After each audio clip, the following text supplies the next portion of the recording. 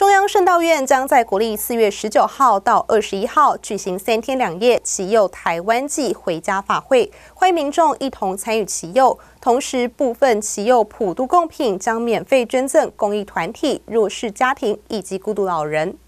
因泰鲁格四零八车次意外往生四十九人，也唤起了一百年前蒋经国时代与日治时代逐鹿工人亡灵的声音。中央圣道院二十一号在崇德加油站旁举办祈福法会，将进行三天三夜引渡法会，在这里引领各方亡灵引渡回家。那因为长期以来我们都在做那个呃路祭，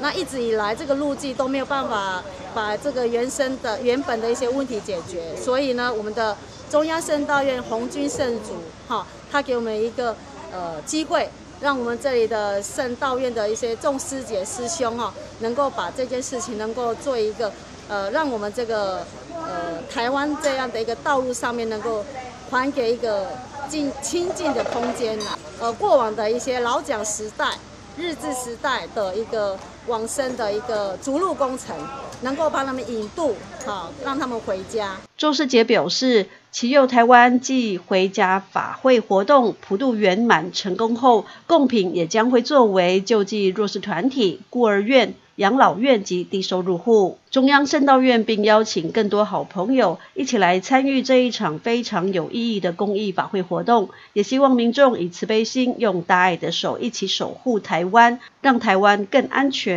更美好。记者林杰受林香采访报道。